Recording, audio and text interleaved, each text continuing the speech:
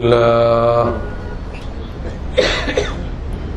الحمد لله وكفى وسلام على عباده الذين اصطفى أما بعد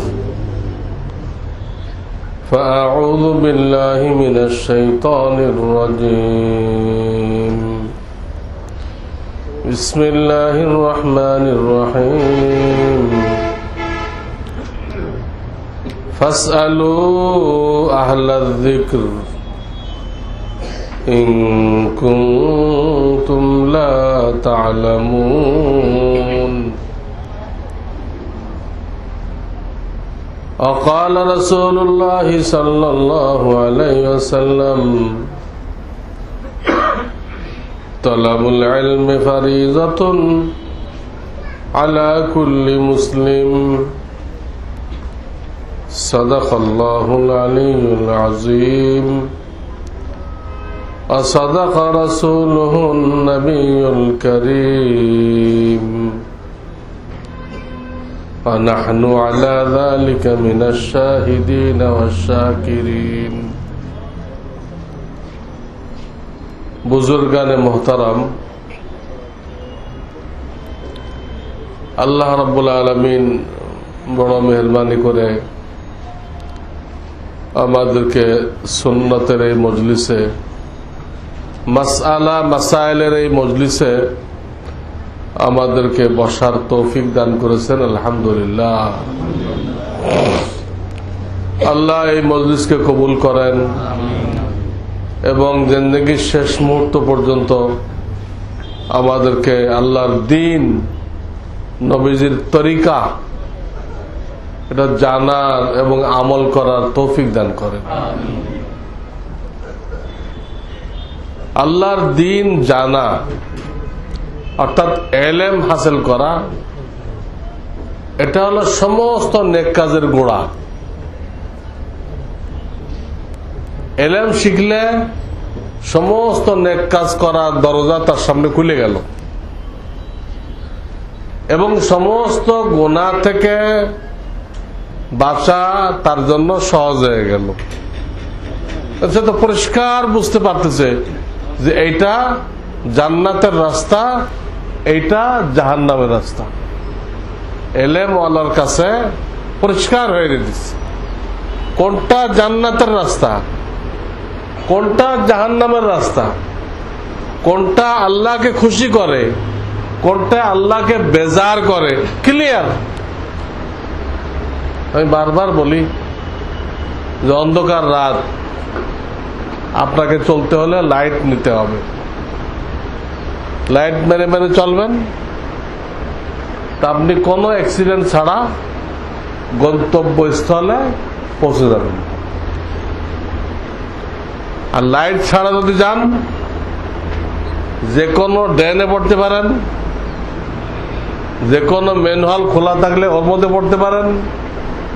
রাস্তার কিনারে কোনো নদী বা খাল থাকলে ওর মধ্যে পড়তে পারেন। অ্যাক্সিডেন্ট হবে। লাইট থাকলে অ্যাক্সিডেন্ট হবে না। লাইট না থাকলে অ্যাক্সিডেন্ট হবে। ঠিক এলএম এইরকম জরুরি বিষয়। এলএম যে অর্জন করছে, সে জান্নাতের রাস্তায় চলতে থাকে।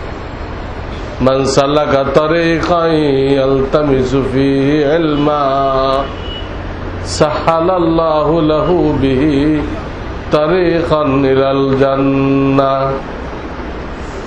من سلك طريقا যে এমন একটা রাস্তায় চলতেছে ইয়ালতামিসু বিহি ইলমা যে রাস্তায় এলম শিক্ষা করা যায় তো আল্লাহর হাবিব ওয়াদা করতেছেন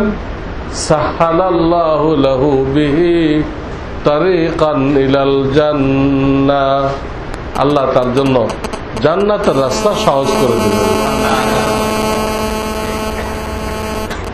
এলেমের রাস্তায় যে চলবে, আল্লাহ তার জন্য জান্নাতের রাস্তা কি করে দিবেন? সহজ করে দিবেন। এলেম অর্জন করাকে আল্লাহ রবুল আলমিন ফরজ ঘোষণা করেছেন।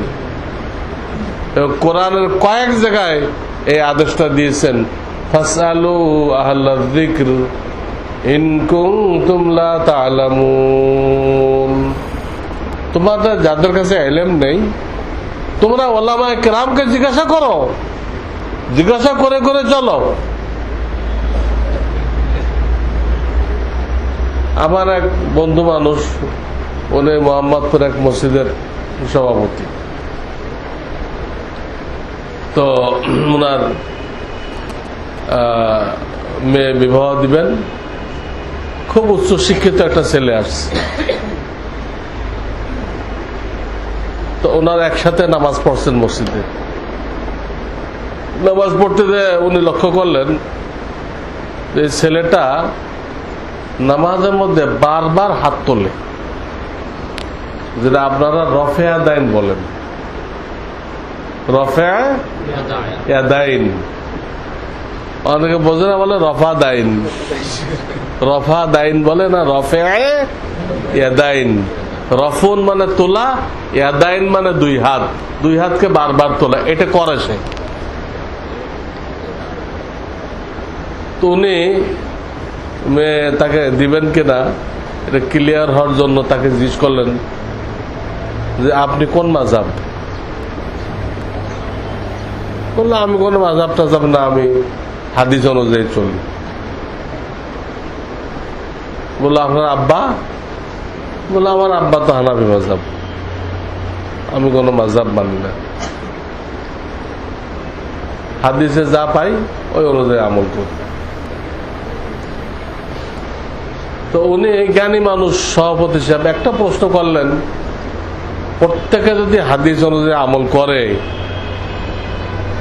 তাহলে আল্লাহ রব্বুল আলমিন যে ওলামায় কেরামকে তৈরি করছেন, এটা কি জন্য?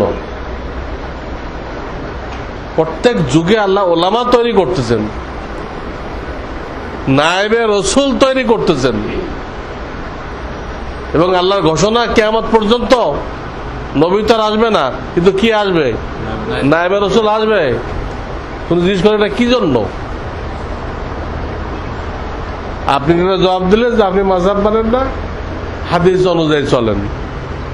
হাদিস অনুযায়ী যদি চলা যায়, তাতে আলেমুল আমার দরকার নেই। সবাই বকল একখান করে হাদিস রাখল, ওটা বের করে বের করে আমল করল। তা আলেম কি কাজের জন্য? আলেম কি কাজের জন্য? তো সে এই প্রশ্নের আর কোনো জবাব দিতে পারল না। আলেম কি জন্য? আমাকে কিসা শোনাইছে? তো আমি তাকে দুটা কথা বললাম। এক তো স্বয়ং নবীজি বলছেন সব মহাদ্দেশ ফকি না। সব মহাদ্দেশ কি না? ফকি মানে মুক্তি মুক্তি না ফতোয়া দিতে পারবে না। মুফতি আলাদা করে সৃষ্টি করতে হবে পড়াইতে হবে এই জন্য মাদ্রাসা খুলতে হবে। তো নবীজি নিজেই বলতেছে সব মুফতি তো মহাদ্দিস। সব মুফতি কি? কিন্তু সব মহাদ্দিস কি না? ফকি বা মুফতি না ফকি আর মুফতি এক কথা। ফকি আর মুফতি কি? সব মহাদ্দেশ তা আল্লাহর হাবিব যে বলতেছে, সব মহাদ্দেশ ফকি না তার অর্থ কি? তাহলে ফকি আলাদা জিনিস। ওটা জরুরি। ওদের কাছে মশলা মাসাইল জিজ্ঞেস করতে হবে। তা বললাম, আপনি এই হাদিসটা পেশ করতেন। তুমি তো বলতে যে হাদিস যথেষ্ট। তা আল্লাহ রসুল তো বলতে হাদিস যথেষ্ট না। মুক্তি লাগবে। এটার কি উত্তর? দ্বিতীয় যুক্তি দিলাম যে বাজারে তো ডাক্তারি বই পাওয়া যায়। আর যে কেউকে ডাক্তারি বই কিনে পেট কাটতে আরম্ভ করবে? রোগীর চিকিৎসা হবে? না গোরস্থান আবাদ করা হবে? হ্যাঁ? সুস্থতা আসবে না গোরস্থান আবাদ হবে? বেশি বেশি গোরস্থান বাড়বে না? যা কাটবে প্যাট একটা তো ফিরে আনতে পারবে না। বই আছে, ডাক্তারে বই আছে, কিন্তু কেউ ওই বই দেখে চিকিৎসা করার সাহস করে না, ডাক্তারের কাছে যায়।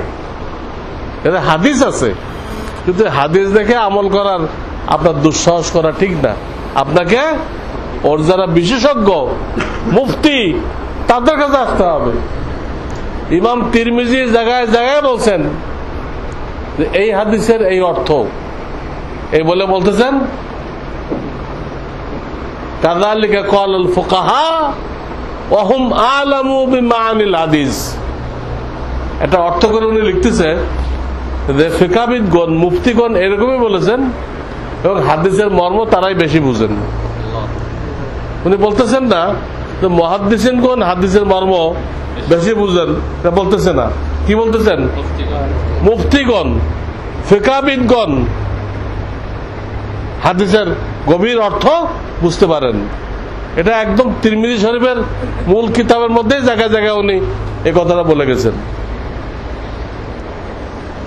তো এই দুটা কথা আমি বললাম, তা আল্লাহ রসুল নিজেই বলে গেছেন মহাদ্দেশ যথেষ্ট না। আর আপনার সেই হবু জামাই করতেছে হাদিস যথেষ্ট। ও গুমরা, আর দুই নম্বর ডাক্তারি বই বাজারে আছে, কিন্তু কেউ ওটা দেখে পেট কাটে না, চিকিৎসা করে না, ডাক্তারের কাছে যায়। তাহলে সে হাদিস পড়ে যেন আমল করতেছে, তো ডাক্তারি বই পড়ে পেট কাটুক, আগে নিজেরটা কাটুক। তাহলে দেখা দেখ ওর মতো আরও লোক আছে না? হ্যাঁ তারা মুফতি মানে না, খালি হাদিস মানে। ওরা ওদের এনে, বই দেখে দেখে পেট কাটুক।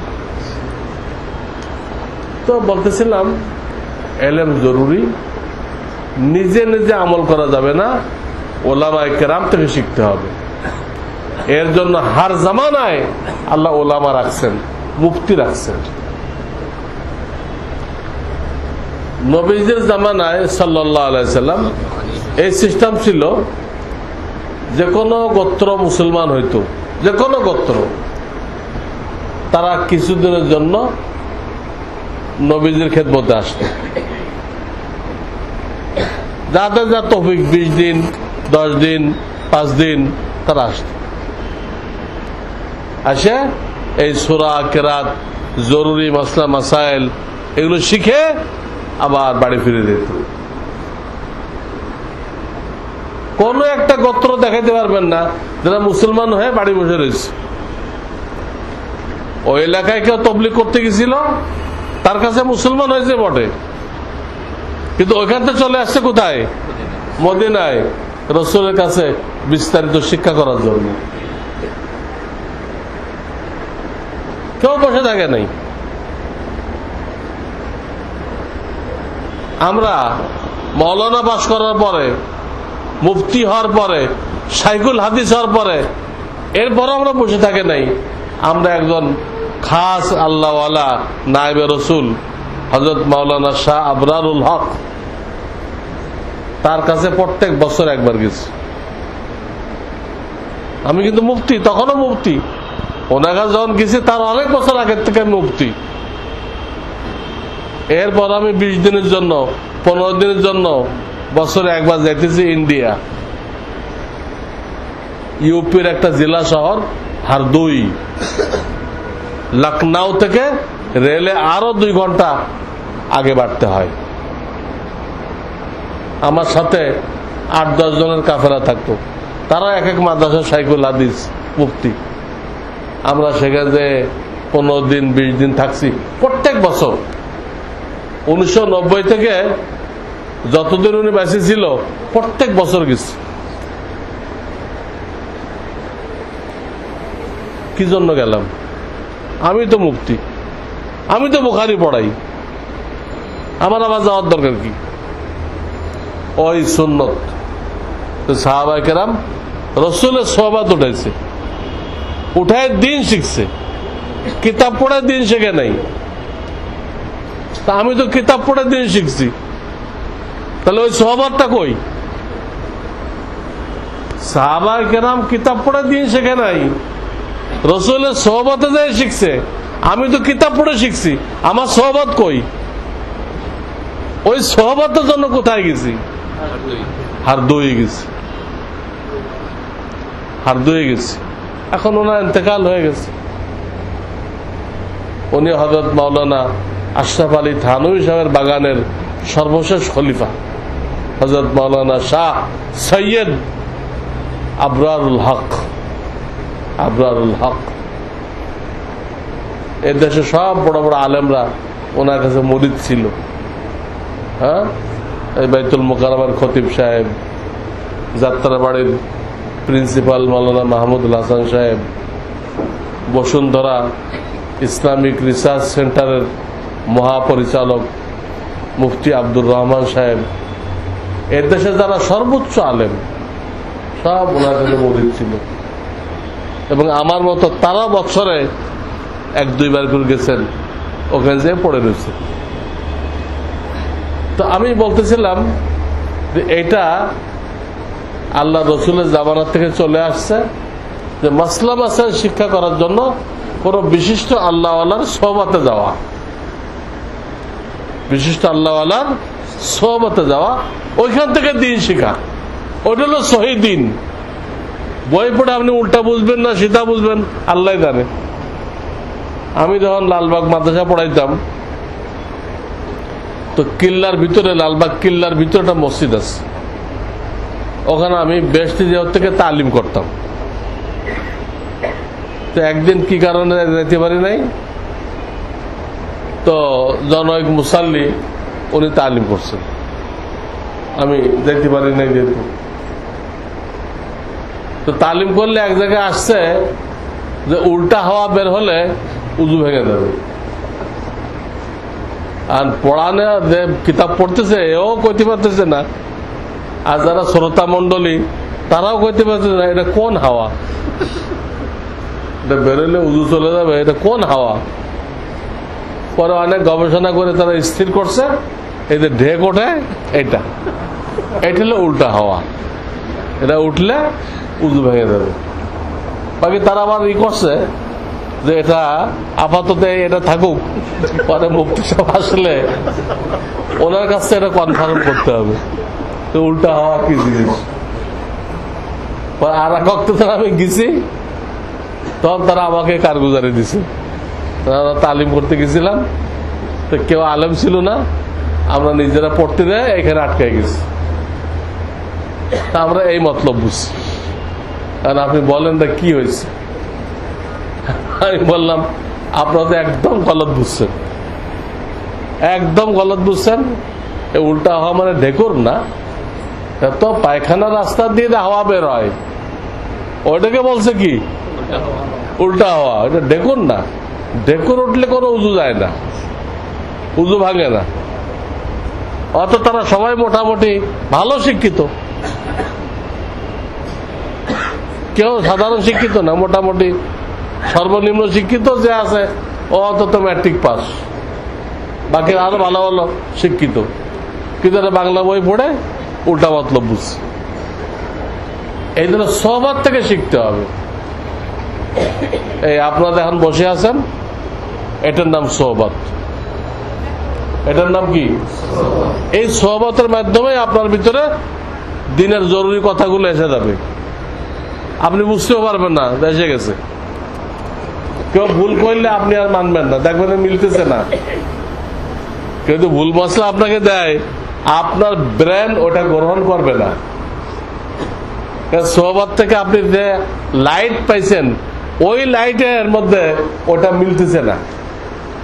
ওর সাথে সংঘর্ষ হয়ে যেতেছে। তখন আপনি আসবেন আমার কাছে, হুজুর, এমন একটা কথা শুনলাম। আমার তো বুঝে আসতেছে না, আপনি বলেন। আমি আর ব্যাখ্যা দিয়ে বোঝাবো, এটা ভুল। সব আছে। কয়েকদিন আগে, এই হয়তো দুই, তিন তিন সপ্তাহ আগে, আমার এক জানাশোনা লোক এতেকাল করে গেছে। উনি সরকারের অনেক বড় ইঞ্জিনিয়ার ছিলেন। ওই যারা রোড ঘাট তৈরি করে, ওই ওই লাইনের ইঞ্জিনিয়ার ছিলেন। তো উনি দিনের লাইনে খুব মেহনত করতেন। এক জামানায় আমি তাকে দেখছি দাড়ি ছাড়া। আর এক জামানায় দেখছি সুন্দর চাপ দাড়ি এবং সর্বক্ষণ মাথায় পাগড়ি। সর্বক্ষণ মাথায় পাগড়ি। ছেলে পেলেগুলো বড় হয়েছে, বলে মাদ্রাসায় দিতে পারে নাই। নাতি নাতকুড়গুলো মাদ্রাসায় দিছে। তো ওনার কোনো কমি আমি দেখি নাই। উনি সময় লাগাইতেন, দাওয়াত তবলিগ সময় লাগাইতেন। বছরে চিল্লা লাগাইতেন মাসে তিন দিন লাগাইতেন। বিভিন্ন মসজিদ, মাদ্রাসায় আর্থিক সহযোগিতা করতেন। এই ধরনের যত ভালো কাজ আছে, সব ভালো কাজে উনি আগে আগে থাকতেন। ওনার শুধু একটা আমি অভাব দেখছি যে ওলামা কেরামের সহবাতে আসা, এটা এটা গুরুত্ব উনি বুঝতে পারেন নাই। এই জিনিসটা ওরা শর্ট ছিল। কারণ আমার মাসে, আমার মাদ্রাসায় মাসে দুইবার এই মশলা মাসাইল নিয়ে আলোচনা হয় আমার মাদ্রাসায়। সেখানে সবাই আসতেছে। উনি আমাদের মহল্লার লোক ওনাকে কিন্তু আমি কোনো সময় দেখি নাই। তাহলে বুঝলাম মাসলা মাসাইলটা জানতে হবে। এটা একটা জরুরি বিষয়। ওটা বই দেখে হবে না। বই দেখে হবে না, সবার থেকে জানতে হবে। উনি শত সময় লাগায়ও এই বুঝতে পান নাই। হয়তো বা কোনো হাক্কানি আলেমের সাথে সময় লাগানো তৌফিক হয় নাই। এই বুঝটা পান নাই। যে কারণে সময় লাগাইতেও কমি করে নাই, নফল ইবাদত বন্দিকে তো কমি করে নাই, পাঁচ কাজের মধ্যে কোনো কমি করে নাই, দান খয়রাতেও কমি করে নাই, নাতি নাটকুকে মাদ্রাসা দিতেও কমি করে নাই। সব লাইনে মেহনত করে। কিন্তু মাসলা মাসাল শেখার জন্য উনি ওলামাদের সোবাতে আসতে হবে এটা উনি করেন নাই। যার রেজাল্ট কি হয়েছে? রেজাল্ট এই হয়েছে, ওনার এতেকালের পরে ওনার ছেলেপেলেরা কিছু ফতোয়া নেওয়ার জন্য আমার কাছে আসছে। কিছু ফতোয়া নেওয়ার জন্য আমার কাছে আসছে। উনি যদি মাসলা মাসাইল জানতেন, তাহলে এখন আর ওনার ছেলেদের কিন্তু ফতোয়া নেওয়া লাগতো না। উনি নিজেই জানতেন না মশলা অনুযায়ী করে যান নাই, আর ছেলে পেলে বিবাদে পড়ছে। ছেলে পেলেও মাসাল্লাহ দিনদার। এবং আমার সাথে মহাব্বত রাখে। একটা ছেলে বেশি মহাব্বত রাখে।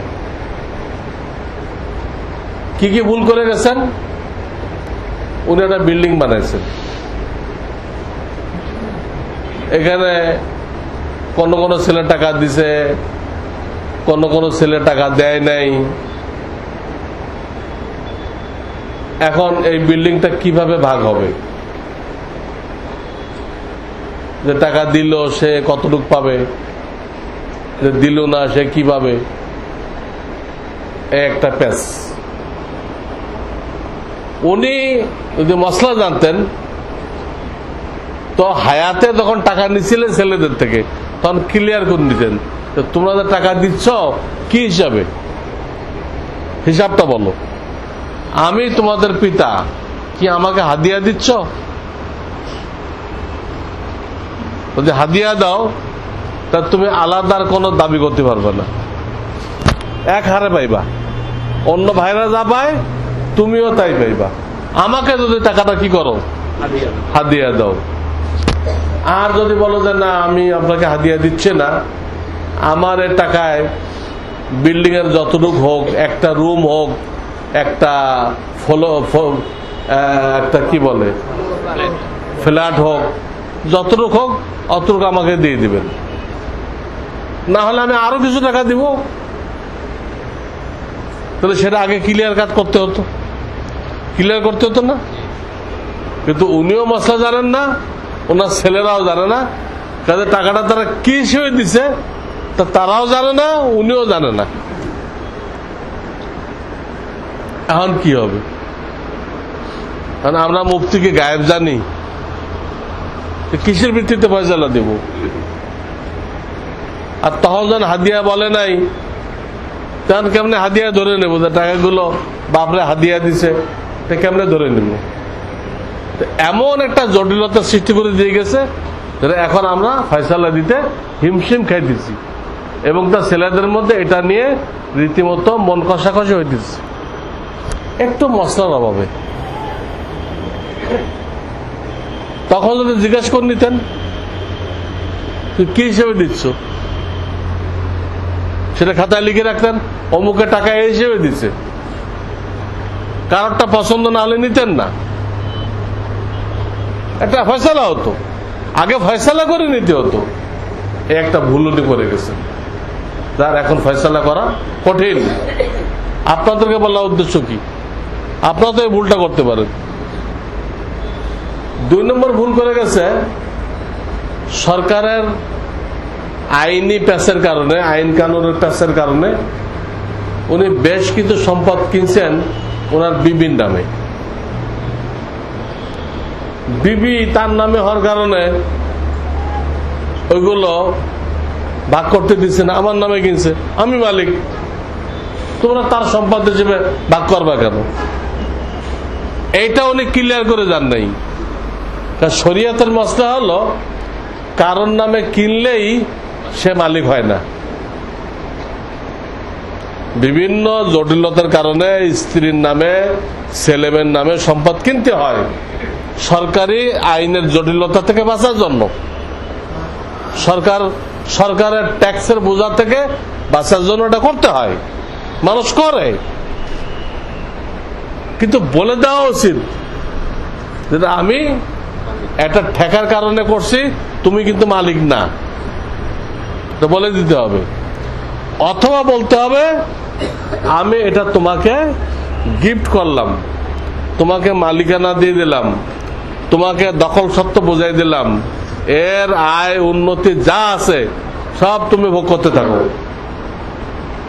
তুমি এই একটা বলতে হবে।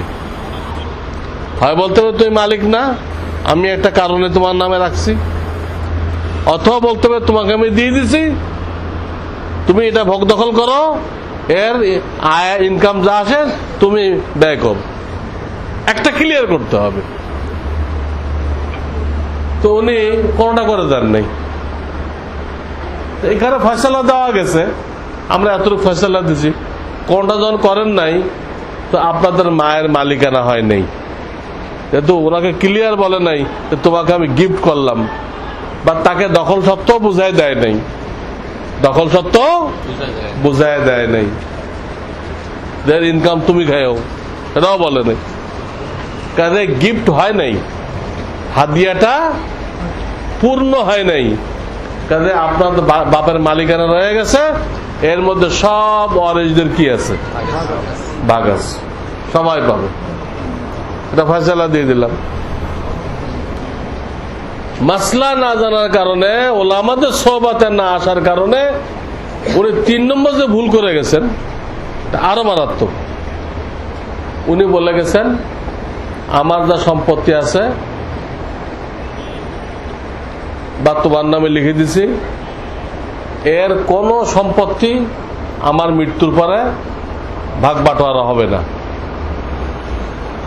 তোমার স্ত্রীকে বলছে, তোমার হাতে থাকবে তোমার মৃত্যুর পরে, তোমার মৃত্যুর পরে এটা কি হবে? ভাগ বাটোয়ারা হবে। এই আটটা কথা বলছে। এটা বলাও ভুল হয়েছে। কারণ উনি আগে মারা যাবে, এটা নির্ধারণ করল কে? আমার মৃত্যুর পর ভাগ হবে না, তোমার মৃত্যুর পর ভাগ হবে। তো তুমি ফয়সালা করে দিলেন। আমি আগে মরবো? তুমি পরে মরবা। স্ত্রী আগে মরতে পারে না? তুমি ফয়সালা কীভাবে করলেন? সে ফয়সালা কবুল হয়ে গেল। আর অনেক লোক তো মরতে দেয়, আবার বেঁচে ওঠে। উনি আর বাঁচতে পারলেন না। আগে গলত ফয়সালা করছেন। এক ভুল করছেন। আর একটা হলো এই যে উনি বললেন যে ভাগ হবে না, মৃত্যুর সাথে সাথে সব অরেজদের হক কায়েম হয়ে যায়। কেউ মরে গেল। সাথে সাথে তার ছেলে মেয়ে স্ত্রী তাদের পাওনা হয়ে যায়। দিতে দেরি করলে ওই বড় ভাই মা তারা দায়ী থাকে। কিন্তু চক্ষু বন্ধ করা যে সেকেন্ডে ওই সেকেন্ডে কিন্তু সবার কি হয়ে যায়? সবার মালিকানা হয়ে যায়। আপনি দিতে না দেরি করলেন তাদের মালিকানা হইতে কিন্তু কি হয় নাই? এই যে মালিকানা হওয়ার পরে তাদেরকে উনি দিতে মানা করে গেছেন। এতে কি হয়েছে? এতে দুটা হাদিসের বরখেলাপ হয়েছে। কয়টা? একটা হাদিসে আসছে যে স্বামী বা স্ত্রী, তারা ষাট বছর পর্যন্ত আল্লাহর ইবাদত করে। কত বছর? ষাট বছর পর্যন্ত। ষাট কোনো খাস না, ষাট সত্তর হইতে পারে, আল্লাহর ইবাদত করে। এরপরে শেষ জীবনে এসে সে একটা গলত ওসিয়াত করে। খুব খেয়াল করেন। কি করে? গলত ওসিয়াত করে। এবং সে গলত ওসিয়াত করার দরুন দোজক তার জন্য অজীব হয়ে যায়। ষাট, সত্তর বছর আল্লাহর ইবাদত করে। এবারে শেষ জীবনে এসে গলত ওসিয়াত করে। এবং সে গলত ওসিয়াতের দরুন তার জন্য জাহার নাম কি হয়ে যায়? এই হাদিসটা ওনার পর প্রযোজ্য হয়েছে কারণ ভাগ বাটোয়ারা হবে না, এই ওসিয়াতটা গলত ওসিয়াত। আল্লাহ কইছে ভাগ বাটোয়ারা করতে দেরি করবে না। যত শর্ট টাইমে পারো প্রত্যেকে বুঝাই দাও। বুঝাই দেওয়ার পরে তারা একসাথে খাবে না আলাদা খাবে, তারা বুঝবে। আগে ভাগ করো। আগে ভাগ করো। আল্লাহ করতে ভাগ হবে, উনি করতে ভাগ হবে না। ওদের এলেম থাকতো। তা আল্লাহর হুকুমের বিরুদ্ধে এই কথাটা বলতো? বলতো? এই হাদিসে বরকেলাপ হয়ে গেল। ভুল ওসিয়াত করে গেছে জাহার নাম অজীব হয়ে গেছে। দুই নম্বর ভুল করছে আর একটা হাদিসের মধ্যে আছে কোন ব্যক্তি যদি ওয়ারিসদেরকে তাদের অংশ থেকে মাহরুম করে ওয়ারিসদেরকে বা কোন ওয়ারিসকে তার অংশ থেকে মাহরুম করে।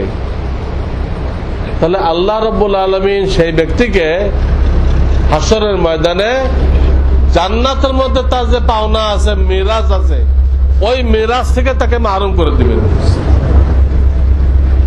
জান্নাতটাও কিন্তু মিরাজ বলা হয়েছে। ওখানে আমাদের আব্বা আম্মা ছিলেন এক জামানায়। আমরা তাদের সন্তান। আব্বা আম্মার থেকে আমরা কি পাই? মেরাজ পাই। ওই মেরাজ আল্লাহ কেটে দিবেন। তো ওসিয়া যে নিষেধ নিষেধ করলেন তাতে উনি ওয়ারেসের হক নষ্ট করলেন না? ওয়ারেসের হক নষ্ট করার কারণে উনি ওনার জান্নাত ক্যান্সেল করলেন না? বুঝতেছেন আমার কথা? তাহলে কয়টা হাত দিতে বরখেলাপ করলেন? দুইটা। হাত দিতে বরখেলাপ করে উনি একদিকে নিজে- নিজেকে জান্নাত থেকে বঞ্চিত করলেন আর একদিকে নিজের জন্য জাহান্নামকে অজীব করলেন।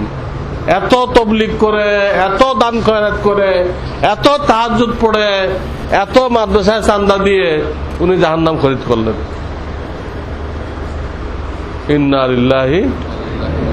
ইলাইহি ছেলে বলে বলে, হুজুর, এখন কি করা? আমার বাপ না জানার কারণে যা করার করে গেছে। এখন উপায় কি? এখন উপায় এটা, তোমরা জরুরি ভিত্তিতে সব ভাগযোগ করে ফেলো। করে প্রত্যেককে তার অংশ দিয়ে দাও। তোমার আব্বা যে ওসিয়ত করে গেছে, এটা বাতিল করে দাও। বাতিল করে ভাগ করো। ভাগ করে তোমার আব্বার জন্য ইস্তেগফার করো। তো আশা করা যায়, আল্লাহ তোর আব্বাকে, ওই যে জাহার নাম অজব হয়ে গেছিল, ওটা মাফ করে দিবেন কারণ উনি একটা গলত ওসিয়ত করে গেছিল। কিন্তু ছেলে পেলে মশলা জানার কারণে সেই গলত ওসিয়াতটা বাস্তবায়ন করল না। গলত ওসিয়াতটা বাস্তবায়ন করল না। তারা আল্লাহর বিধান অনুযায়ী আমল করল। আল্লাহর বিধান অনুযায়ী আমল করল। তাহলে আশা করা যায়, আল্লাহ ওই মাইয়েত কি কি করবেন? যারা মাইয়েত হজ না করে মরে গেছে। তার জন্য হাদিসে জাহান নামের কথা বলা হয়েছে। এই মাইয়েতের জন্য কি বলা হয়েছে? জাহান্নাম। জাহান্নাম। কিন্তু এটাও বলা হয়েছে তার ওয়ারিসটা যদি এই এই মাইয়েতের পক্ষ থেকে বদলি হজ করাই দেয় আল্লাহ রব্বুল্লা আলমিন তাদের এই মাইয়াতকে জাহান্নাম থেকে মুক্তি দিয়ে দিবেন। মুক্তি দিয়ে দিবেন। কিন্তু আমি তার আল্লাহদেরকে বললাম তোমার আব্বাকে এই আজাব থেকে বাঁচাইতে হলে একটাই রাস্তা, তোমরা কাল বিলম্ব না করে ওই ওসিয়ত বাতিল করো, করে তোমরা ফারাইজ বের করে অনুযায়ী সবাই ভাগ করে নাও। নিয়ে তোমার বাপের জন্য কি করো?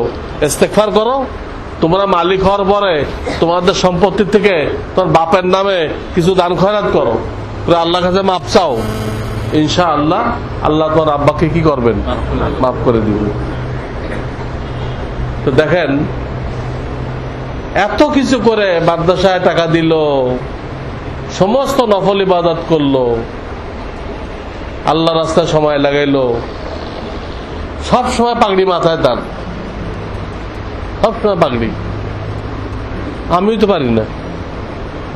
এই বিচারা করে গেছি। কিন্তু রেজাল্ট কি হলো? একটু এলেম না থাকার কারণে হ্যাঁ? তিনটা ভুল বললাম আমি। তো তিনটাই জাহান নামে দেওয়ার মতো ভুল। এলেম না থাকার দরুন, ওলামায় কেরামের সোহবতে যায়, মাসলা মাসাল না জানার দরুন এক একটা ভুল করছে, তার প্রত্যেকটা ভুল মানুষে কোথায় নিয়ে যায়? জাহান নামে নিয়ে যায়। তো কিসা বলা উদ্দেশ্য না?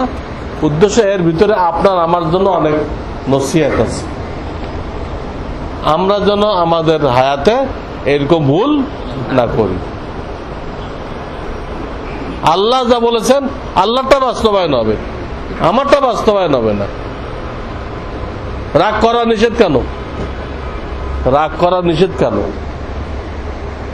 রাগ করার অর্থ এই দাঁড়ায় যে এই কাজটা আমি যেভাবে চাইলাম, সেভাবে হইল না। আল্লাহ যেভাবে চাইছিল, সেভাবে হইল কেন? আমার মর্জি মতো না হয়ে আপনি যার পর রাগ করতেছেন, সে তো একটা ভুল করছে। ভুলের পর তো আপনি রাগ হইতেছেন।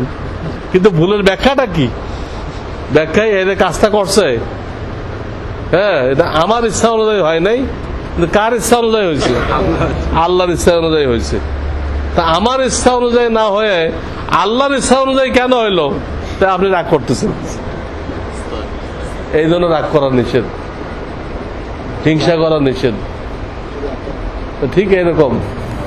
আপনার সম্পদ বন্টন হবে কিনা এটা আপনার ফয়সলা চলবে না। ওই মাল আপনার নিজের না। কে দিছে আপনাকে? ও যে আল্লাহ দিছে সেই আল্লাহ বিধান নাজল করছে ওই বিধান অনুযায়ী হবে।